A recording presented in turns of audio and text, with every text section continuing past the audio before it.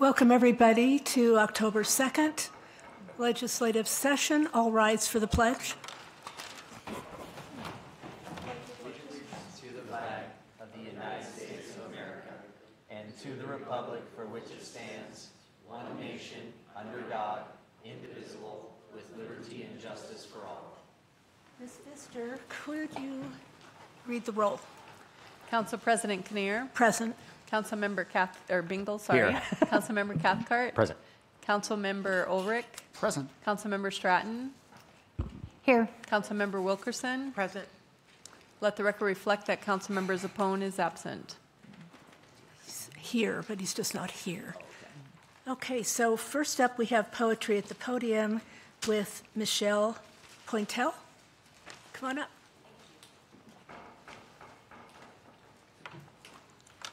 Good evening. Tonight I will read for you South Hill, Spokane. When we first came, the cows still grazed in the field on Regal.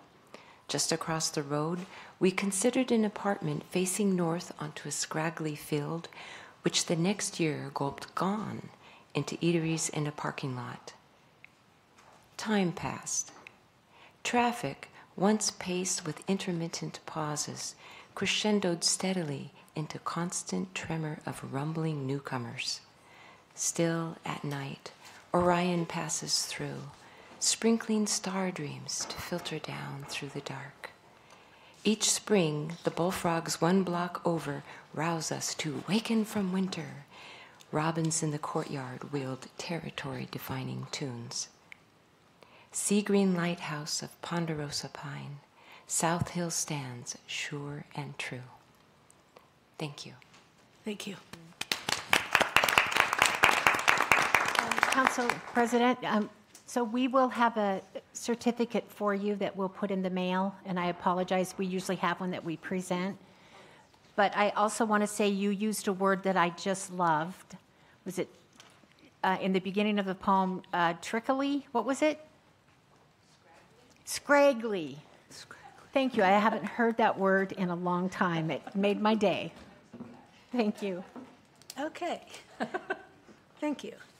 Uh, Proclamations are National Disability Employment Awareness Month, read by Councilmember Stratton, and we have Michael Skog. Are you here?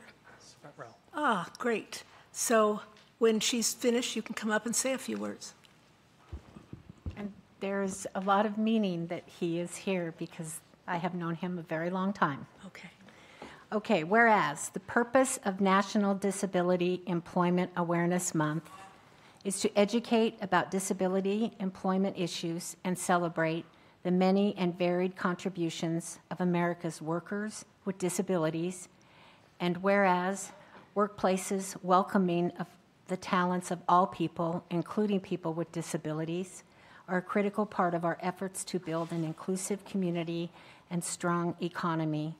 And whereas activities during this month will reinforce the value and talent people with disabilities add to our workplaces and communities and affirm the City of Spokane's commitment to an inclusive community that increases access and opportunities to all, including individuals with disabilities.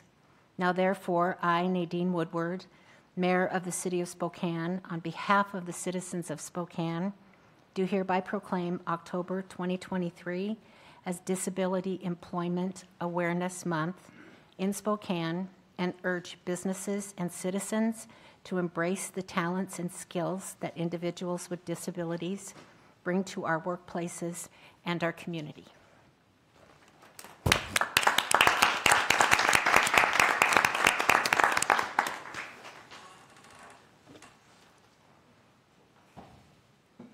It's so good to see you. You're all grown up. yeah, it's so good to see you. I wasn't sure if I could give you a- Oh, we can get a picture. Oh, okay. There you go. You can send your mom. Yes. Dropped off the. Send me an email.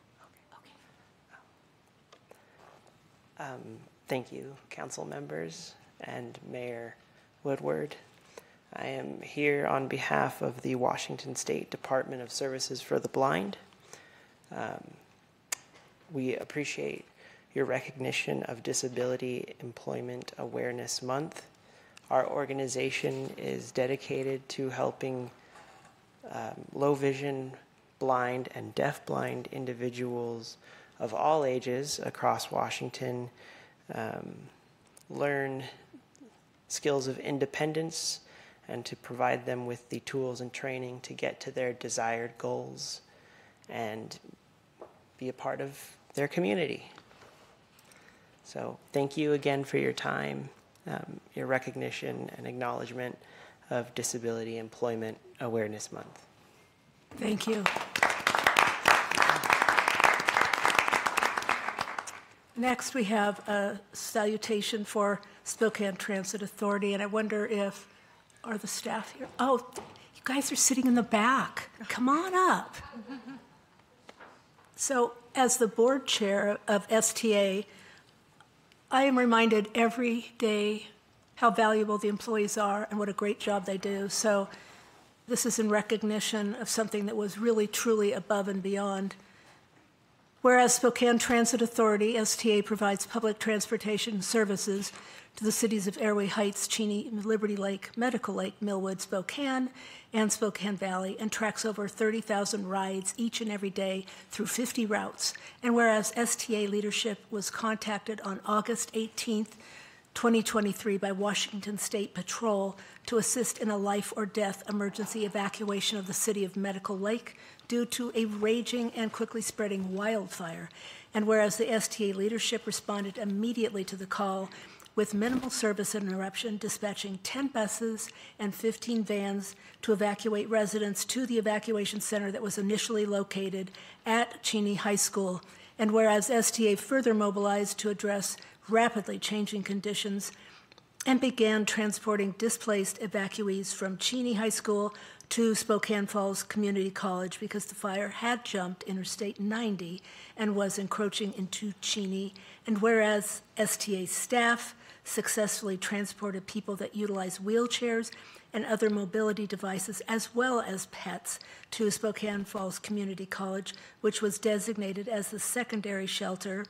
And whereas STA employees, including dispatch teams, road supervisors, and coach and van operators worked late through the night, remained calm in a challenging environment, communicated well, and adapted to difficult and evolving situations throughout the night. Now, therefore, I, Lori Kinnear, Spokane City Council President, on behalf of the citizens of, of Spokane, hereby salute Spokane Transit Authority employees for their contributions to protecting citizens and assisting with the challenging evacuation of an entire city. The City of Spokane thanks them for their brave work, ensuring people, their pets, and belongings were safely moved to the evacuation shelter. Please say a few words.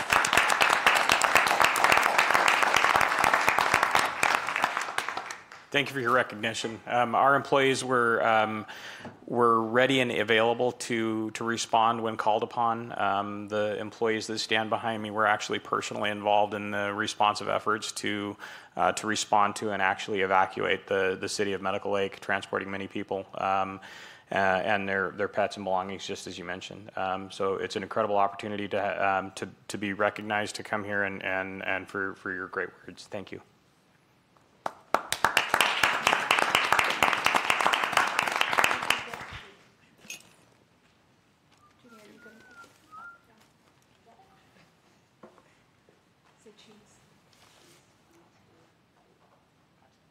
Thank you. Thanks, guys. Appreciate it. That's great.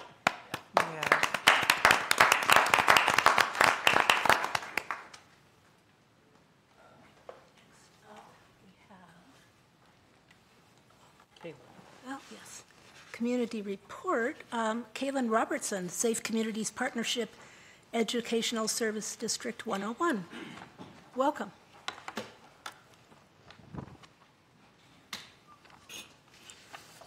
Hello. uh, good evening. Uh, my name is Kalen Robertson. I work with uh, Northeast Washington Educational Service District 101's uh, Youth Build Spokane, uh, also known as the Spokane Service Team. Um, it is located in the East Central neighborhood, um, right behind uh, the Old Flame on Sprague and Altamont.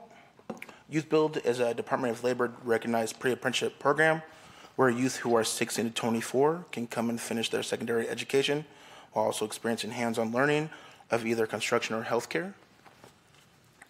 Uh, construction covers a little bit of everything in the trades, while he- healthcare has certified nursing assistant, um, medical assistant phlebotomy, and community healthcare worker.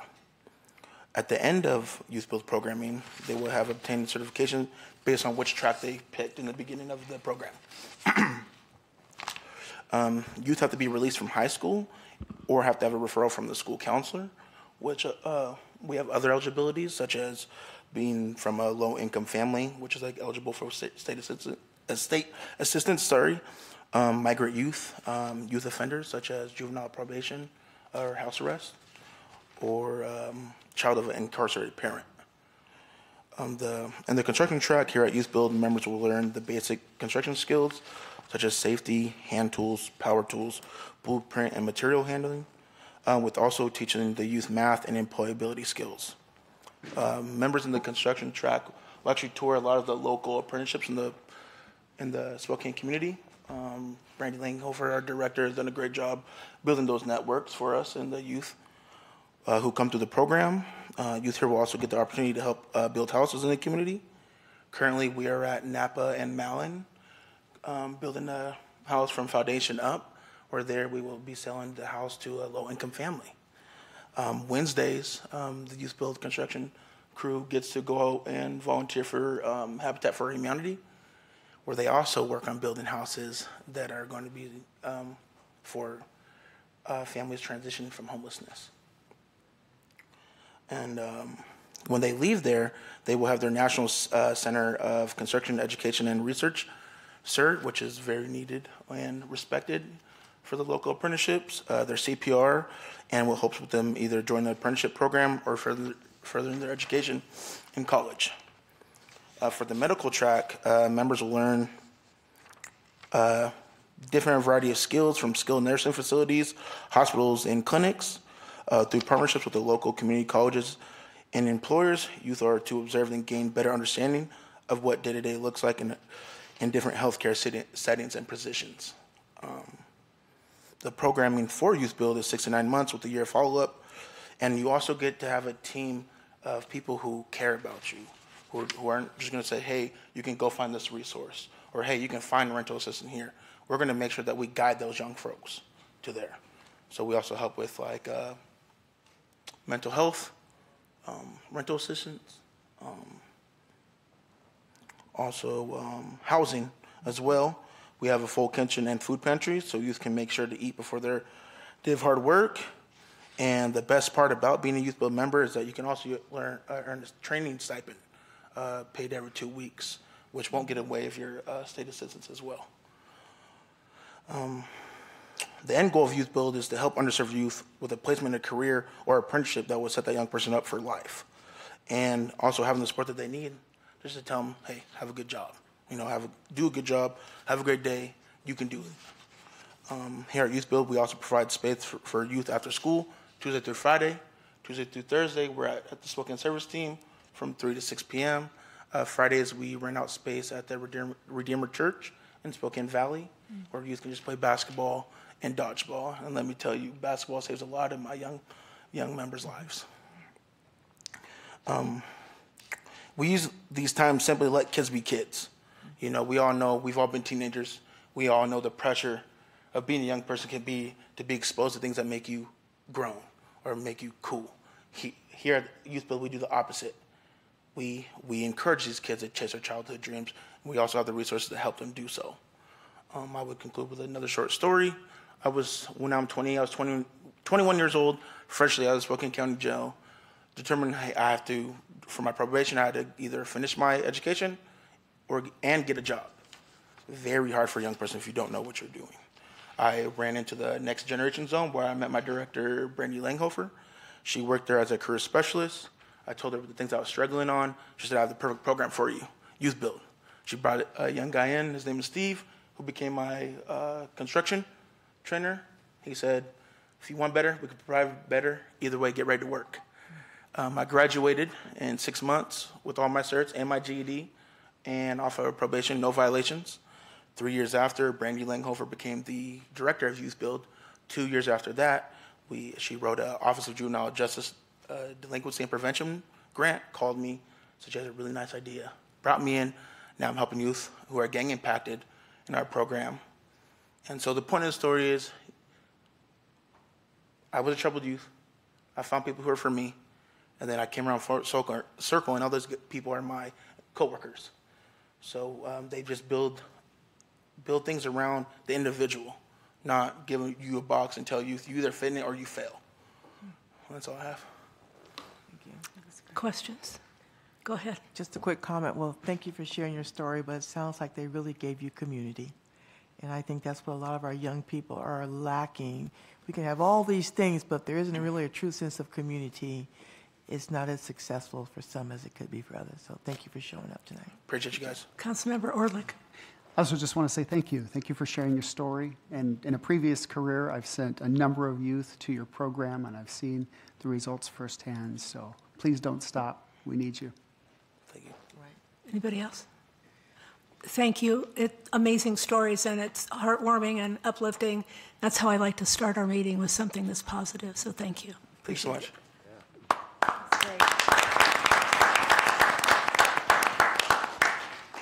Right, we're going to switch gears and do open forum. Just a reminder, because I have to say this, no clapping, no cheering, no booing, no public outbursts. And we have people who are going to, um, we have two minutes, and the open forum is a limited public forum. All matters discussed in the open forum shall relate to the affairs of the city, and individuals speaking during open forum shall their- address their comments to me. And then the most important part is duty of mutual respect.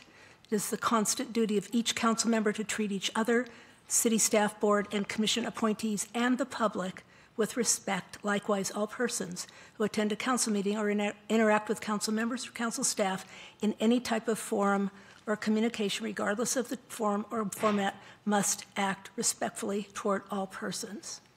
So, Let's have the first three people come up. Rick Bocook, Megra, you're online, and then Denaro Yard Bush.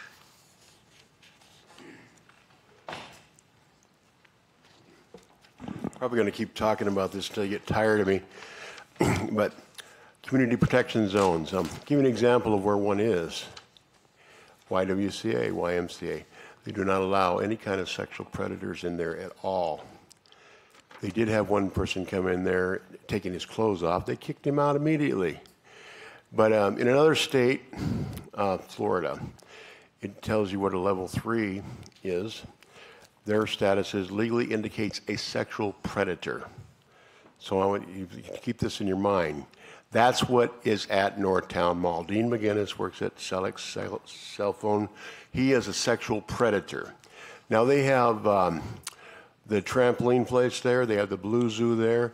They have daycare there. They have the theater there. And there's an individual that I know, he said he went there to talk to the management, and they just basically said, they know about him, but why do you care? I'm going to keep repeating that. This is the Northtown Mall management. Why do you care if somebody like that is working? Now, a couple days ago, I was at the plaza, and this is one of the worst kind. This guy is a child molester, and he sat next to me, and I cussed him out, told him to get, it, get away from me. Another person cussed him out, but his crime, he raped an eight-year-old boy and a four-year-old girl. So you think about this is the kind of people. Maybe you guys won't interact with them, but people out here that take the buses and are walking, we have to deal with these kind of people. We have to we have to hold ourselves back from wanting to do very bad things. But they should not be out in. They should not be around us. They, they I don't care if they get banned forever. You know, I, you put them on an island. They don't. They should not be around people at all. This guy at the mall, I don't know what, what needs to be done about him, but something needs to be done. And I don't know what you guys know, but I'm, I hear the Rick- federal laws. Rick, Thank you. Thank you. All right. Point of, point of information. Yes. So Rick, just an FYI, we have been talking about this, and uh, Council President Kinnear and I spoke about it later today. It, it is something that we're actively working on, on that. Thanks for bringing that up. Okay. Megra, want to press star three? Go ahead, Megra. Spokane's criminal legal system discriminates. The JFA Institute, in a study paid for by Spokane County, released their 2019 report noting that black people are jailed at 13 times the rate of white people, a discrepancy that cannot be explained by crime rate or crime severity.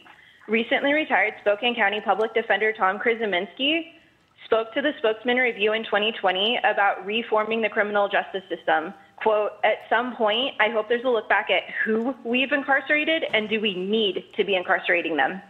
Superior Court Judge Maryann Moreno has spoke, w- spoken with the Inlander about Spokane County Prosecutor Larry Haskell's selective overcharging.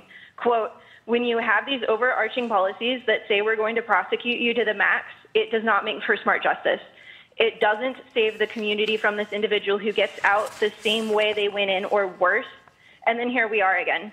We can lock all these people up and spend 150 bucks a day, but I don't think we're getting enough bang for our buck here. Former Spokane Regional Law and Justice Administrator Maggie Yates wrote in her resignation email that not only are 20% of people leaving Spokane County Jail homeless, but 60% of the people coming into the jail have behavioral health disorders. That will not be cured or helped by incarceration where they lack access to their prescribed medications and are at risk of losing their jobs. We do not need a new jail. All of these criminal legal experts agree that what we do need to solve these problems we keep hearing about is instead funding therapeutic alternatives such as mental health services, addiction treatment, and shelter for the increasing number of Spokanites who cannot afford the increase in housing costs. In 2020, due to the global COVID 19 pandemic, the Spokane County jail population was decreased by almost 40%. It took a global health crisis to put into action what all these experts and more have been saying needs to happen for years. Yates studied the crime statistics and told the Inlander in 2022 that she did not see any increase in the recidivism rates from violent criminals. Megra. The released people were Megra. not causing it. Thank you. Thank you. Right, uh, Denara, Yard Bush, then Tanya, then Will Hewlings. Uh, Good evening, Council. My name is Dinar Yardbush, and I am a current senior at Gonzaga Preparatory High School. Uh, I had a question regarding the ongoing epidemic involving fentanyl usage among not only adults but youth today um, within our Spokane community. I was recently informed of the funding that has been put forward towards organizations with this issue and trying to raise awareness about it, um, but I'm wanting to know what legislation can be enacted to protect our citizens through utilizing both accountability and compassion to overcome this epidemic.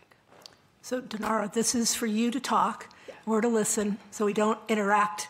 And what I would advise is you contact one of the council members who can give you that information directly. Perfect. Thank you so much for your time. Thank you. And if you left your contact details, we'd be happy to reach out and connect. With you. Uh, Tonya, Will, and Kylie Prater. Prater.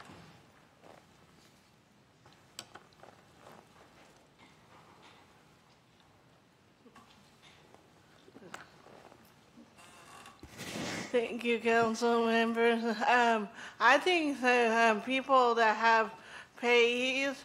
Right now, you know, pays, you don't need to ask their people, you know, if they need, if they owe anyone money or not, you know, too, because there's some people that are their own payees and they, they keep asking other people for money downtown and they and they say they'll they'll pay them back all the time and they don't you know and they, and they're teaching kids you know how to not pay people back you know when they're downtown.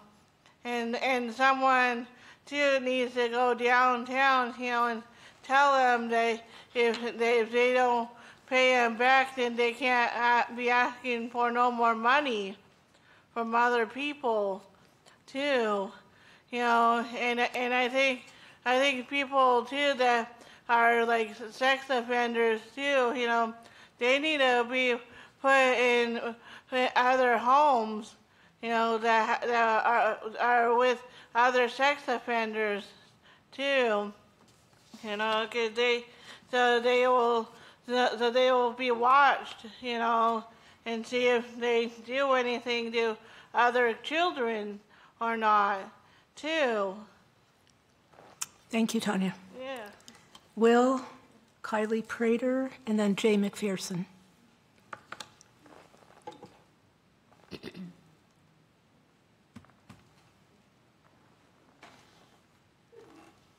Good evening. My name is Will Hewlings, and I'm a MAGA Republican. So that's what Joe Biden called me, you know, Republicans.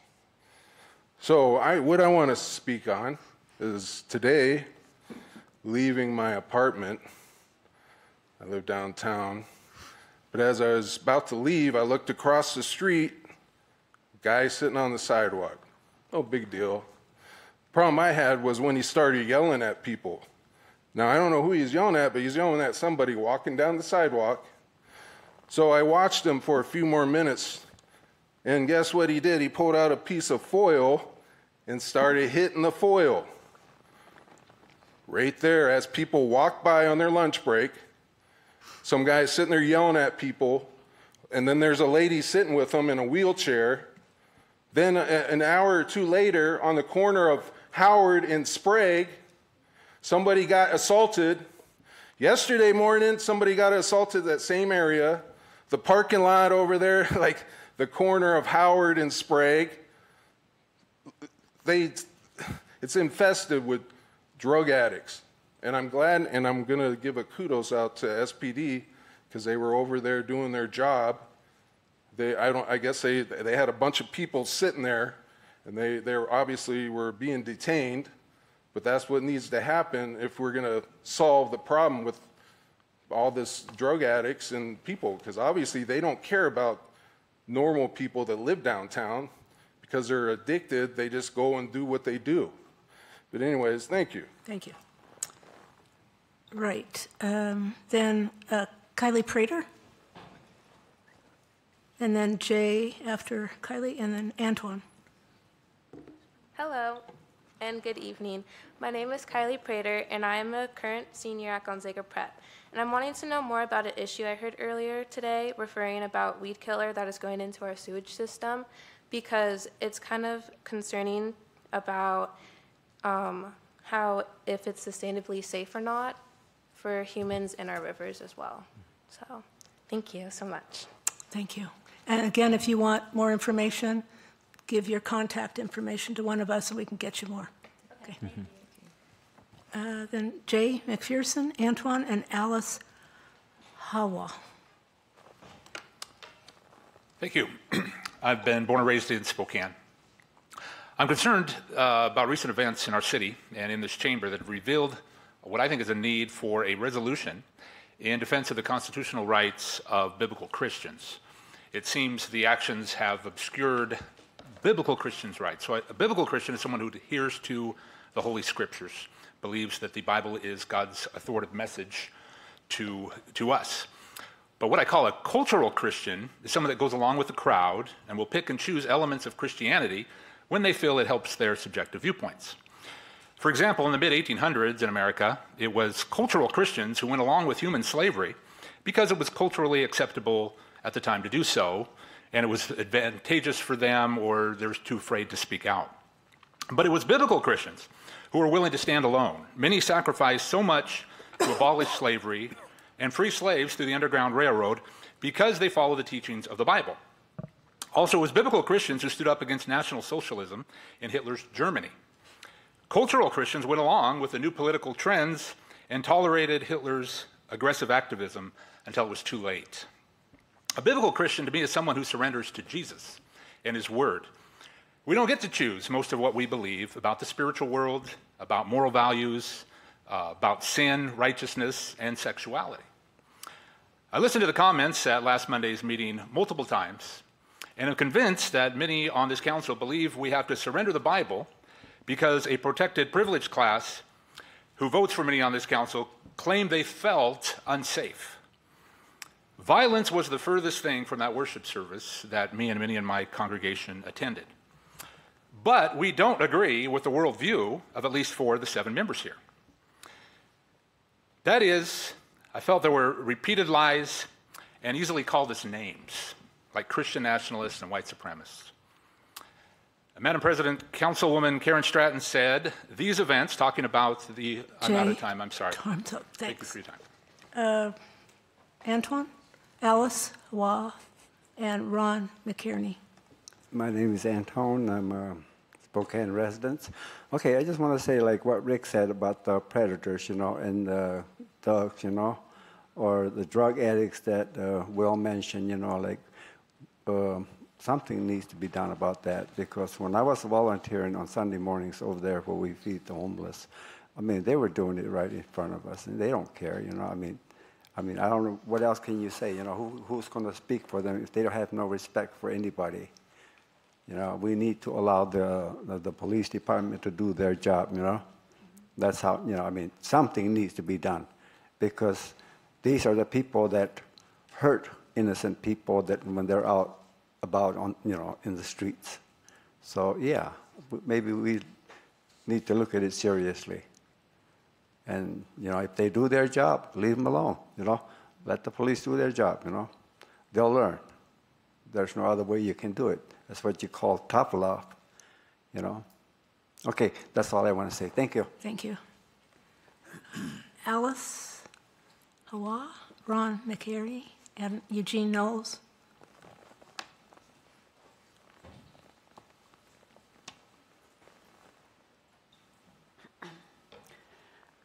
I moved to Spokane in 2017 to work for Fat Panda. Back then, working in the cannabis industry under legal conditions seemed like a dream come true. However, as I simmered in the bottom ranks of that lifeless company, I started to notice their cult like behaviors, like reminding me of how disposable I was in this family. We received an email from the CEO stating that there is no need to form a union, as they prefer to work individually with each employee. That was true until I started to support, uh, express support for the union. In the spring, when construction picked up and the bus schedules became more tentative, I adjusted my schedule about 20, my work schedule about 20 minutes, uh, which they had to legally accommodate. Unfortunately, the construction only got more intense, and thus I needed to adjust my schedule again. When I asked for this change, I was told that they only they were only legally required to accommodate me once, and I eventually got fired due to attendance. Uh, such a critical attitude becomes even more toxic when paired with their shady business practices. The most recent depravity is the indictment of Rob McKinley, who helped facilitate a supplement scam in Idaho. Now, you may think this has nothing to do with uh, Spokane or any of y'all, but however, this kind of business practice leads a company to engage in tax loopholes to deprive uh, Spokane of the, uh, of the much needed taxes to help it and its citizens flourish as a community. This will eventually cost the residents of Spokane more due to this company not paying their fair share after spitting in the face of its consumers and the law itself. I implore you to investigate this bad faith enterprise that is Fat Panda and crack down on any tax loopholes. This company is no more ethical than drug companies that flourish in the unregulated black market. Prove that the city of Spokane is better than that and properly regulate this company before it becomes another corporation that holds the government on a leash. Thank you. Thank you. Okay, Ron. And then Eugene, and then Justin Holler, and then Sherry Barnett. Yeah, I was here last week and uh, just wanted to come back and address the council a little bit further. First off, um, thank you for having an open forum. It's really great that citizens can come and just share whatever is concerning to the city and concerning to themselves, and I commend you for that. Last week, um, as I was here, I was listening to the testimony, listening to uh, even the comments from the council, and I, I realized how divisive the issue of denouncing the mayor was in the community. And I know that she went forth and attended a, a Let Us Worship event. And I attended one of those a year ago, and I found it to be much like a concert with some prayer mixed in. Never heard any hateful rhetoric, never heard anything threatening. And I find that the mayor being denounced is a denouncement of myself as well, or anybody who would attend an event like that. And I find it as a, an announcement of, of a people's uh, freedom of, of assembly and freedom of thought and, and how they want to worship and, and gather. Anyways, I want to encourage the council to not be influenced by the alleged and ugly accusations and views that are out there in the community that are oftentimes spread by various groups, various people, even the media. I encourage the council to present a, a positive image, a positive message to their congregates, to the people of this city. Let's be about unity. Let's be about peace. And in that spirit, last week, um, Councilman Cathcart, I commend you that you called for transparency. I ask that you would do that again, that there be transparency, because through that, through truth, through light, comes true healing. Thank you. Thank you. Uh, Eugene, and then Justin and Sherry Barnett.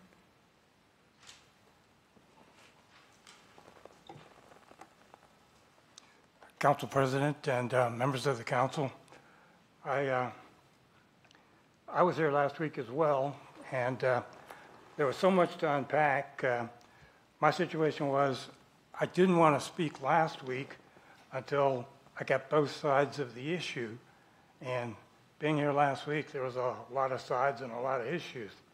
So because there was so much to unpack, I decided, let me just, in two minutes, give the two conclusions that I have. One, I'd like to thank the council for bringing the issue to the public's awareness. And two, th- this is October, the season known as October surprise. So in politics, things are going to happen in October and the way the calendar falls for the voting in uh, November, there might be a little November surprise. So, what happened last week, from my view, was an October surprise. I'm a uh, homeless advocate. I'll be glad when October and November are over so I can come back and get on my issue, homelessness. Thank you. Thank you. Justin Holler, then Sherry Barnett.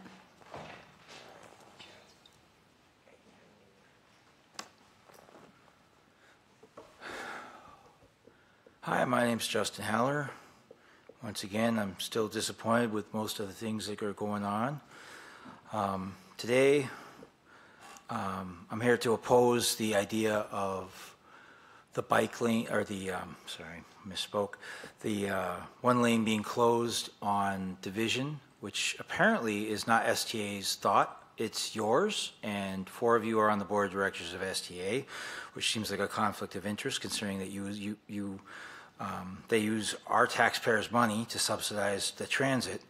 Um, if you think it's a good idea, please feel free to drive your car on Division at 4 p.m. on Friday and see if it's a good idea. And because the North South Freeway isn't going to be built for any foreseeable future, especially if King Inslee III keeps stealing our money, which is a whole other thing. Um, you might want to ask him where our money is, especially the pot tax dollars. It's a completely new revenue stream for you guys that you just don't seem to care about. And where's the 50,000 from the parking company that you guys gave up to the Canadian company? Where's that money? Um, the other thing is there are a lot of bike lanes that are uncleared of debris year round or they have icebergs or they have snow and or ice in them and makes them almost impassable to use especially on ash which is in the district of someone who's not even paying attention to me.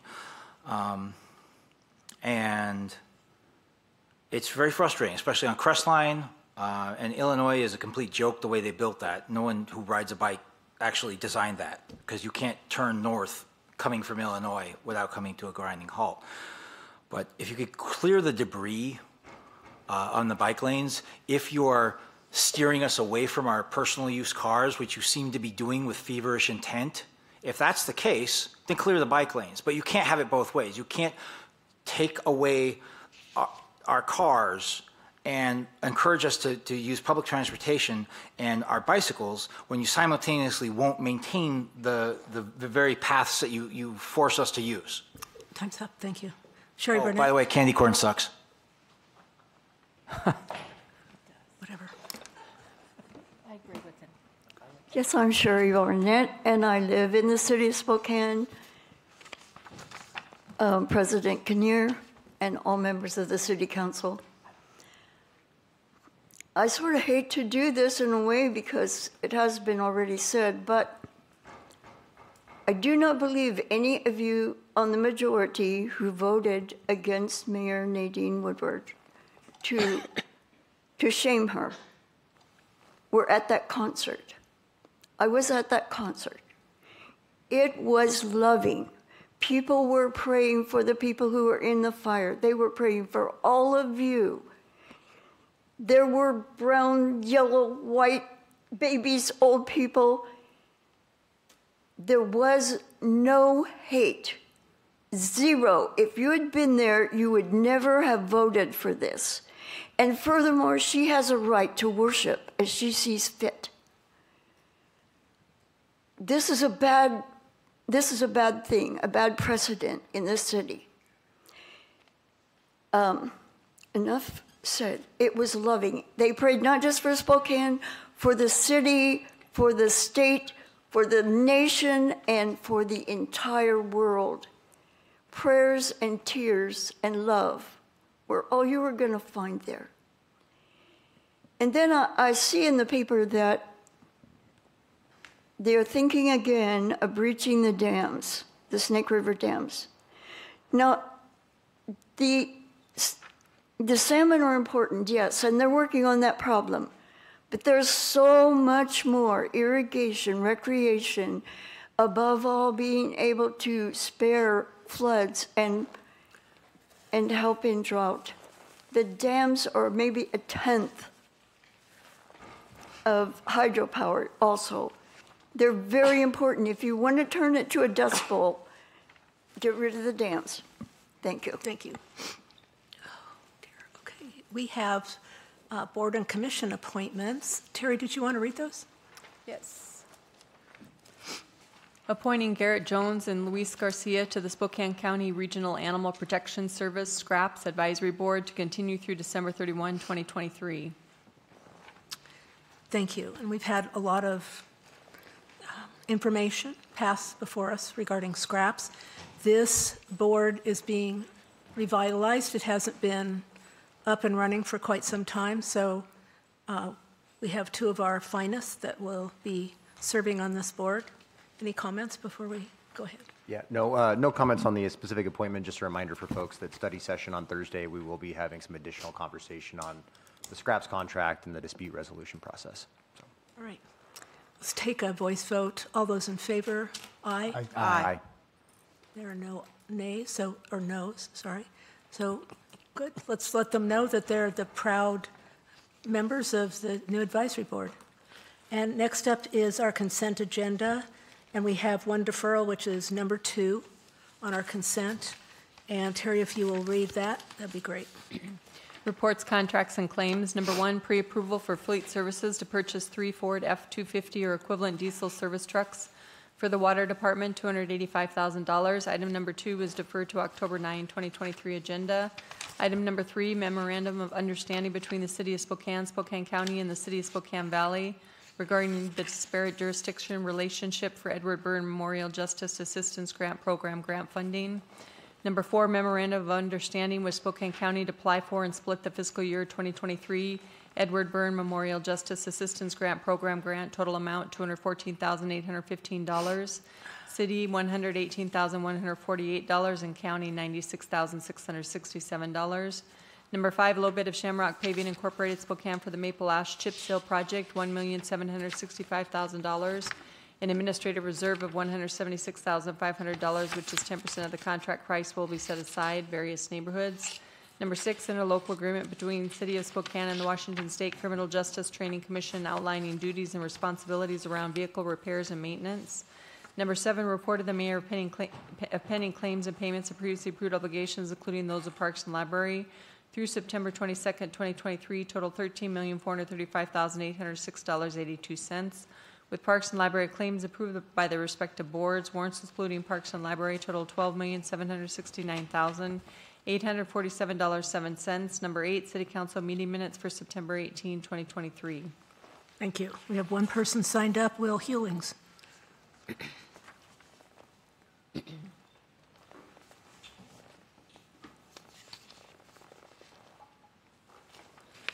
Good evening. My name is Will Hewlings, and I live downtown. So I'm going to be speaking about number one. Uh, I'm for number one, but again, as I mentioned a few weeks ago, when we were talking about SPD um, having uh, Mach-E's and Teslas, basically making it to where now they can buy uh, ICE com- internal combustion engines. Well, I'm, I'm all for this, but as I mentioned, when I left city council meeting, I walked out and I'm not the only one that's seen this. Someone's aide, uh, Councilman Cathcart's aide Shay, also seen the same thing I seen. But Water Department has a Ford Mach-E. Now, if you don't know what a Ford Mach-E, maybe you should look it up. Fully electric, they're nice and stuff. They're you know, uh, it kind of uh, was eye-opening. So I called the next day and spoke to the, the whoever it is for the city, and I asked him, like, what's up with your uh, city having Ford Mach-E's for the water department? He said, I know this is what we're required to buy. He, he told me they also have Teslas. And then I'm like, well, so are you for that? He's like, not really, because I can't even, we can't even put a, a, a sledgehammer into a back of a Mach-E. I'm like, well, why can't, why aren't you guys buying diesels? Well, obviously now they're going to be able to buy diesels, which is good. But, um, so I mean, that's just my only uh, thought on that, you know. And I looked up, actually, I looked up uh, Corwin Ford has F-250 work, four-wheel drive diesels. They're $66,000. And I know that doesn't include probably the, you know, the box and all the other stuff. So, I mean, that looks about right. But anyways, that's it. Thank you. Okay. All right. So need a motion to approve the consent agenda? Can Go I ahead. make a comment real quick? Because I, actually, Will, before you came up, I was going to talk about number one, because you're right, you can find that vehicle for sixty-five, seventy thousand dollars, but there is a lot of upfitting required for it to, to make it, so, uh, the two hundred and eighty-five, it's not ninety-five just for the vehicle, it's the vehicle and all the equipment that goes with it, and so, I know it, it looks expensive, and it is, but it's, it's to tailor it for their specific needs, so, yeah. Okay, thank you for that. Uh, Jacoby tells me I don't need a motion. All those in favor of the consent agenda? Aye. Aye. And any opposed? All right. So moving on, we have some special budget ordinances. Ordinance C 36446, amending ordinance number C 36345, passed by the City Council December 12, 2022, and entitled an ordinance adopting the annual budget of the City of Spokane for 2023, making appropriations to the various funds of the City of Spokane government for the fiscal year ending December 31, 2023, and providing it shall take effect immediately upon passage and declaring an emergency and appropriating funds in. General Fund, number one, add two classified community justice specialist positions from five to seven. A, there is no change to the overall appropriation level in the general fund. This action arises from the need to create grant-funded positions. Okay. We don't have anyone signed up. Uh, Any council commentary? All right, prepare to vote.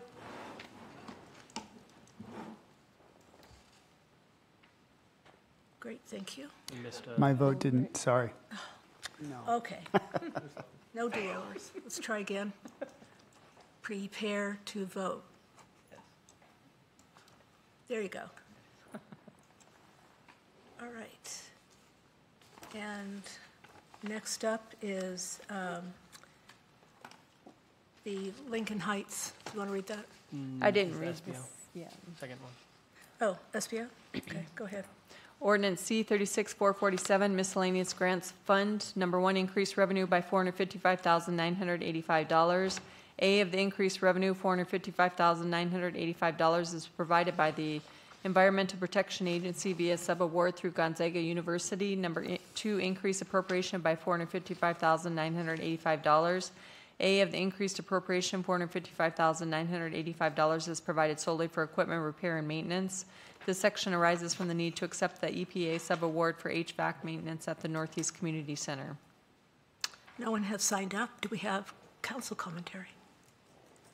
Go ahead. I'll just say self-explanatory that they got this grant award is just amazing. One less fund we have to from the city. Yes, agree. Thank you. Anybody else? All right.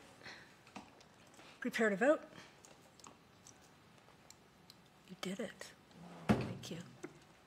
All right. And then next is the uh, 2023-0084. Go ahead and read that. Resolution 2023-84, adding a Lincoln Heights project to the Spokane Plan Commission's 2022-2023 work program. Okay, we have two people signed up.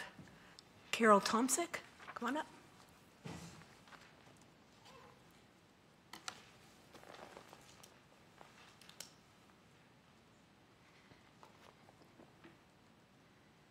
Okay, hold on. Gotta put my pencil away.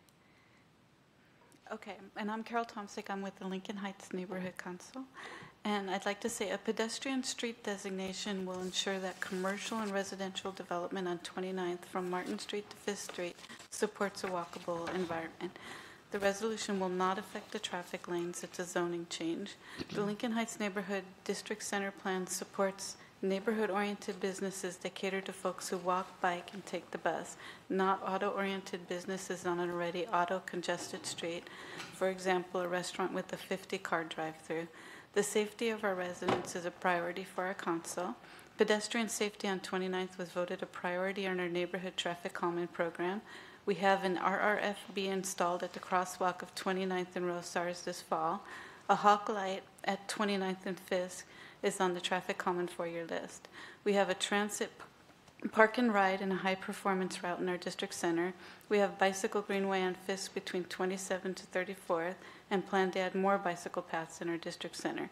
There is a proposed 96-unit residential multifamily development in our district center. We will have 236 residential units constructed in a pedestrian-oriented plan unit development in our district center. The pedestrian street designation is necessary as we continue to work on making our district center safe, walkable, and bicycle-friendly for our current and future residents.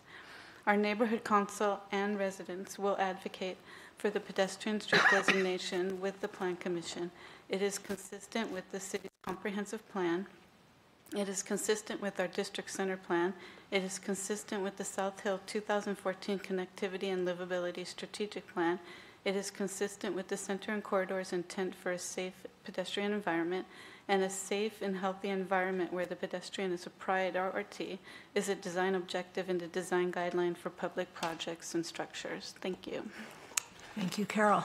Justin Holler.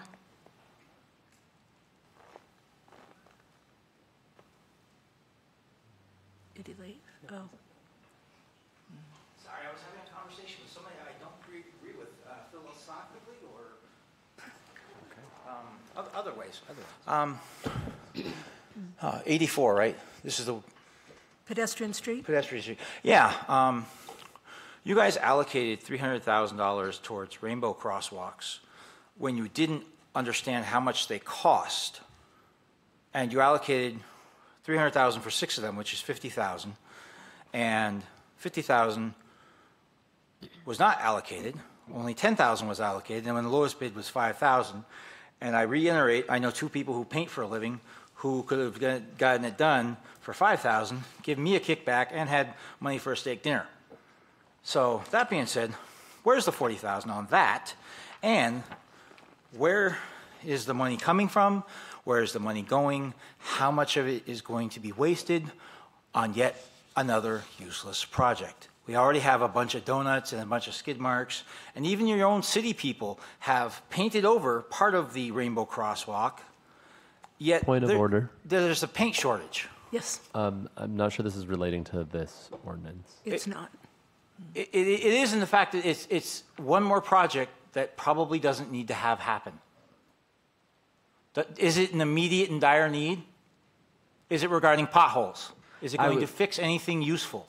P- Yeah, point of order. I would say that it's, it's fair to talk about this, but the, the painted crosswalks aren't, aren't, aren't connected to this. This is, this is just setting a pedestrian, um, a pedestrian street to change the zoning to where you can't have commercial projects in there anymore. Yeah, It's a study, excuse me, yes, just the study, so. And how much is a study costing? You know, that, that's the thing. How much does everything cost? It, it's- very frustrating to see the money wasted with all these projects. And it, it does come together because you guys spend our money. You guys create these projects, like for the fluoride thing. You're paying money to study whether or not fluoride is poisonous. It was used by Nazis. If you want to associate yourself with what Nazis did, then that's a great idea. If not, maybe don't. Um, but when I was a kid, I didn't have crosswalks. I, I learned how to play Frogger. I dodged things. You can dodge a wrench, you can dodge a ball. You know, um, I understand that there are some people who aren't as quick, but maybe look into whether or not the people need it or want it before you spend money on it. And definitely, definitely, definitely take different bids before you allocate money for it. Thank you. All right. Council commentary. Please go ahead. Um, I'm in full support of this, and I just appreciate all the many residents of this area who have sent in emails. I think I personally have talked to over a dozen folks who also have shared their thoughts. So I just appreciate how engaged this neighborhood has been in this process. Uh, Thank you. I was going to echo the same sentiments. This neighborhood has been very active about pedestrian safety, bicycle safety. It wasn't just a few people. They voted on it. They sent us a letter. As Carol mentioned, this has been over a number of years that they've been asking for this, and it is going to the Plan Commission as part of their work plan. So as far as we know, there's no additional cost to this, to do this study. And then when it comes back, we will have the overall um, thoughts on what Plan Commission thinks, and then we'll go forward from there. But this is a very active neighborhood council, and I have to respect their wishes to have this looked at. Anybody else? Go ahead. I was just going to add that this is what neighborhood councils do, and they have been talking about this for a very long time. It's part of their neighborhood plan, I believe. So this is the process, and I'm glad to see it at this point, and I'm happy to support it. Yeah, and I was just going to shout out Carol for being here again and, you know, continuing to advocate for your neighborhoods. Uh, If we had 29 of you, then every neighborhood would be heard, so very well done, and, yeah. Anybody else? Okay, I'm going to get a little wonky here. Um, First of all, two people have died in recent years trying to cross 29th. They were elderly. And as some of you recall, there is a um, apartment complex on one side of the street. Rosauers is on the other. The residents are elderly, so they're not going to just zip across 29th to get to Rosauers. So two people have already died. We don't want any more. Um, I'd like to talk a little bit about what is a pedestrian street. It is a street designated on the official zoning map as a pedestrian street where development standards are required to promote a pedestrian-friendly street. Pedestrian streets offer a pleasant and safe walking environment. Design features include minimal interruptions of the sidewalks by driveways, publicly usable site furnishing, furnishings such as benches, tables, and bike racks, and visually interesting buildings close to the sidewalk.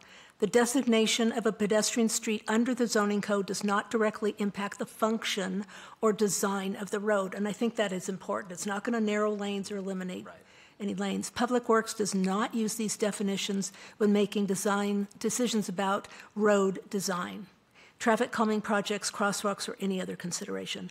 A pedestrian street only impacts adjacent property if it is in a center and corridor zone, which this is. There are no pedestrian streets outside of a designated, designated center and corridor, but if there were, it would have no effect. And pedestrian streets impose limitations and requirements on adjacent property, such as drive-through businesses are not allowed, driveways and curb cuts are limited, and buildings must meet additional design standards. So it's pretty benign, it's not going to cost money, it's just going to be the standard going forward. So Carol Thompson, you're a, a hero for your neighborhood, and for advocating. And remember, this is a very congested area, so we'd like to make it as easy for people to get around as possible. So thank you all for your comments. Prepare to vote. Great, thank you. All right, and next is 0085. Resolution 2023-85 regarding temporary wastewater bypass from the City of Airway Heights and ratifying letter of agreement dated September 1, 2023. We have no uh, community comment. Do we have any comment from the, all right, do you have your hand up? I'm ready to vote. Oh, okay. Real, real quick, our, our neighbor needs our assistance, and I'm happy to help, so look forward to it. Echo. Anybody else? All right, are you trying to finish at a certain time? Is that the deal? We should sing We Are the World. We can place that. All right, prepare to vote. There we go. Thank you. And next is uh, relating to the regulation, it's uh, C36444, relating to the regulation of massage and reflexology businesses. And c- before you start, I just want to give a shout out to um, Ginny Ramos, who is uh, assisting me, and to Chris Wright, who worked long and hard on this, and many, many others. So go ahead, Terry.